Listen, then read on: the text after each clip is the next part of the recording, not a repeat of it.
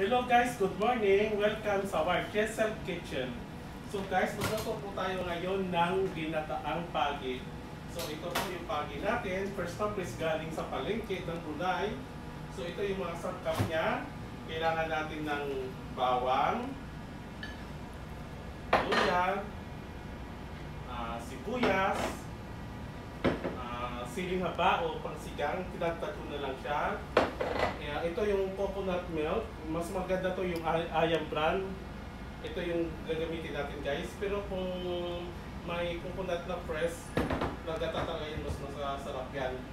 Tapos kailangan din natin ng mantika, suka, ah, tubig, ah, asin,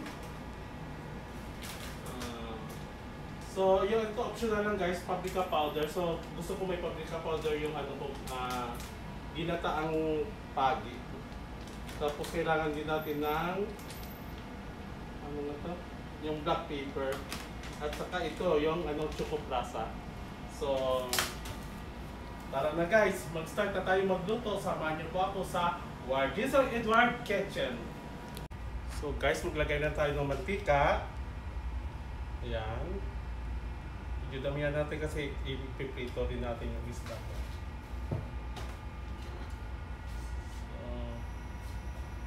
So, unahin natin yung pag-isa yung ano, yung bawang kasi gusto ko yung aroma ng bawang. Mas mabango siya. Kaya inuuna ko palagi yung bawang sa pag ano pag pag-isa. Lagyan natin yung bawang.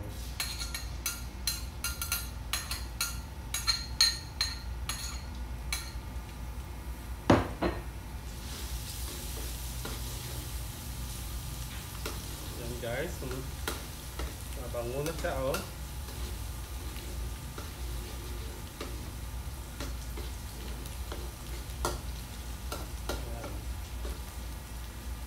Medyo pa pulahin lang natin ng konti.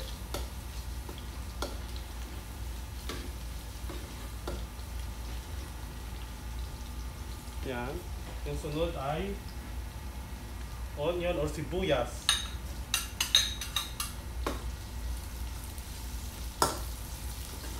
Tayo ng luya. Yan. So pag isa pa lang ito, naano mo na yung aroma ng sibuyas, bawang at saka luya.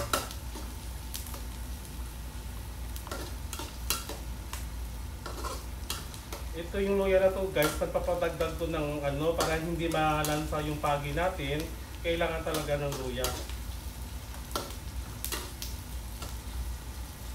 Tapos ilagay na rin natin yung siguro yung siling haba.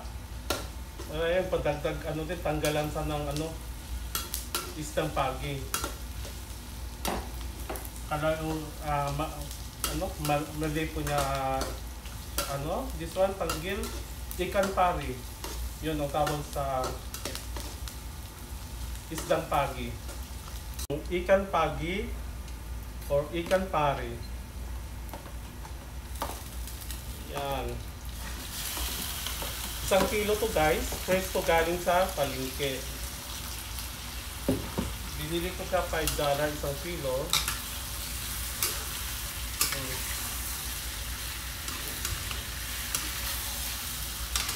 Yan.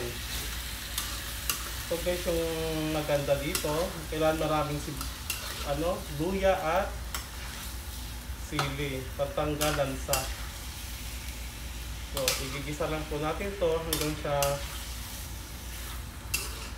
matanggal yung lansa at saka maluto ng konti.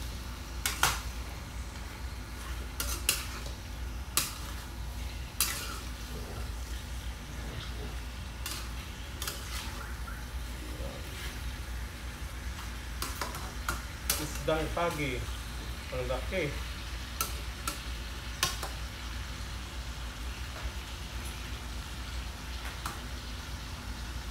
Kaya naisipan ko guys magluto nito guys kasi doon sa probinsya namin sa may Iloilo yung kapitbahay namin ay palaging nagtitinda ng isdang pagi yung ginataan. Tuwing hapon yan guys, nagluluto yan sila tapos nilalako nila. So, bumili bili talaga ako niyan kasi gusto-gusto ko yung luto niyang ano, ginataang pagi. Ang sarap. Tapos lalo na ang daming ano, nyo. Sobrang sarap ng ano niya, talaga yung isdang pagi niya na ginataan. Kaya sabi ko, magluto rin ako kasi namimiss kong kumain ng ano, pagi. Kaya pinag-isipan ko na rin na i-ano to, i-vlog to at ipakita ko rin sa inyo kung paano lutuin yung ginataang pagi. Yan guys, halo lang natin para maano siya, maluto siya sa pagisa.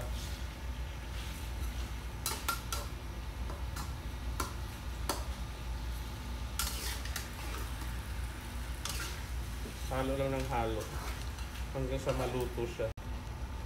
Black pepper. Pamintang luto. Yan. Ito masarap din ito pagtanggalan sa din ng isda.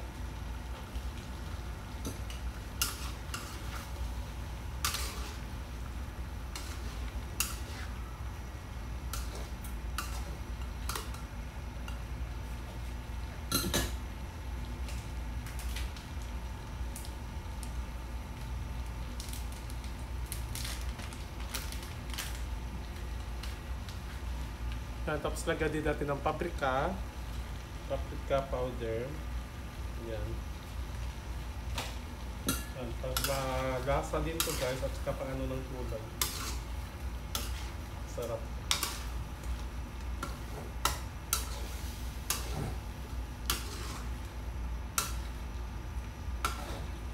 Yan.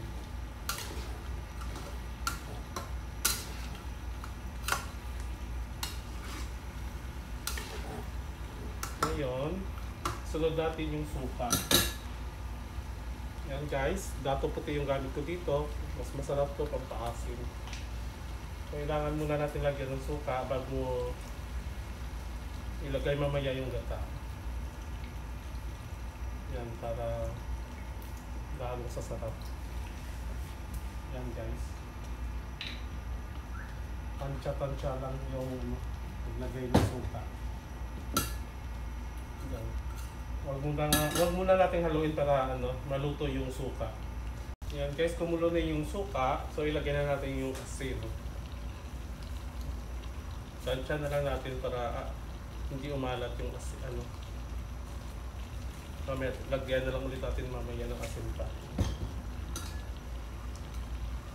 Tapos lagyan na natin to haluin ulit. Guys, takpan muna natin mga 5 minutes guys tapos balikan natin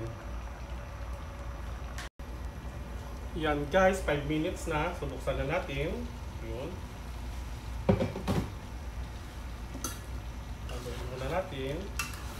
Yun ito na guys. So ilagay na natin yung coconut milk. Yung ayam brand coconut milk. Ito masarap to guys. Wow. Ang katakam.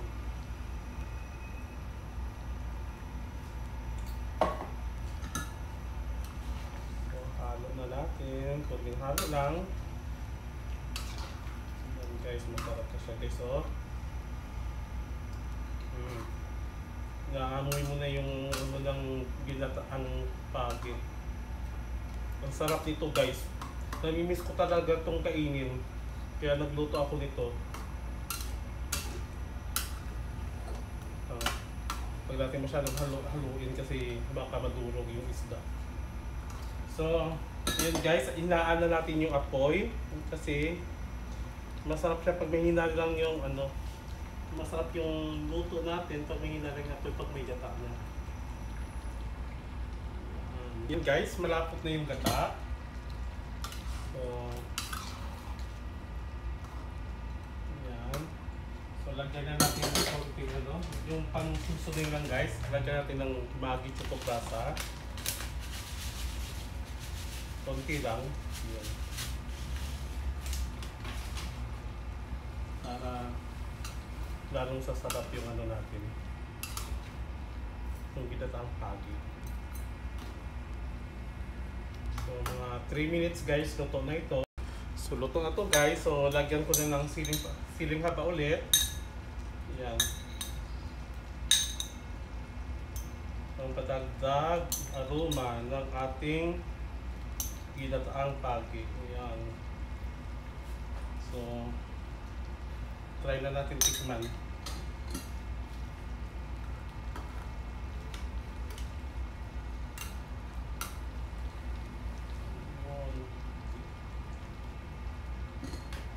Tikman muna natin yung lasa. Ayan o. Ayun, ang lambot na guys. So, tikman po natin ha. Ay, perfect. Perfect yung lasa guys. Ang sarap.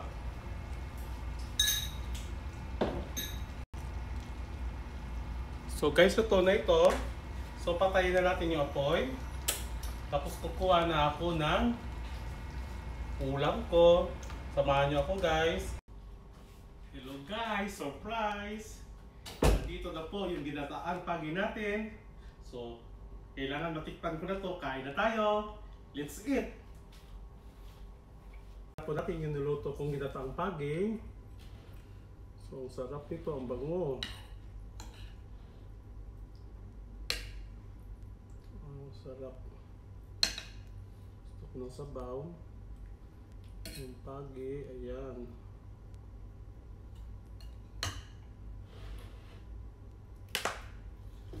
So, tayo na tayo guys.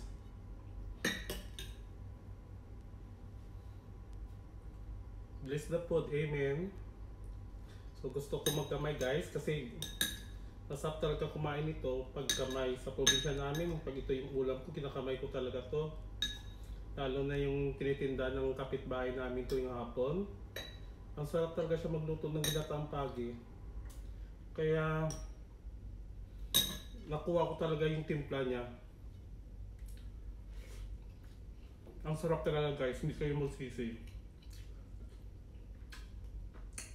Subukan niyo rin magluto nito. Perfect to sa ano, panghapunan, tanghalian, at saka pampulutan. Masarap din to. Fresh na fresh talaga itong pagi na ito na binili ko sa may pasar, sa may palengke ng Brunei. Hmm, lambot. Tamis ng lasa. Sarap ng karne niya.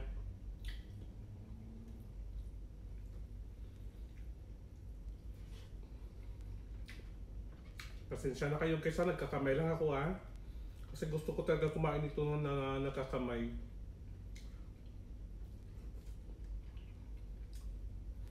Para ma-feel na feel ko talaga yung ano, lasa ng luto ko.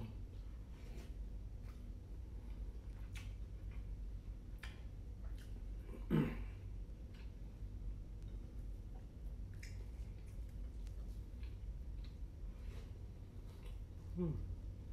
Sobrang sarap.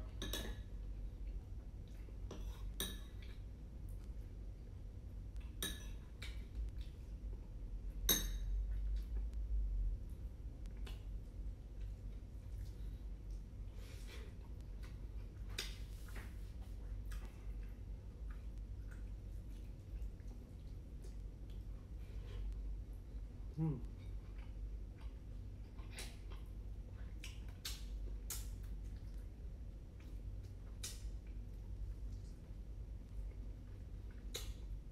Pero dandaan lang kayo sa pagkain nito, may tinik pala siya.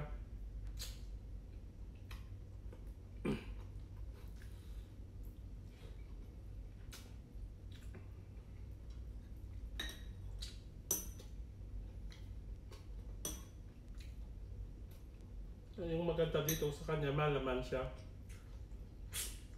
Pero ingat lang din kasi may tinik.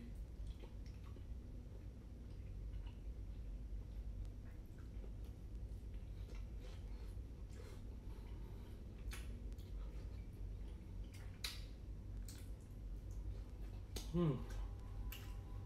Salt.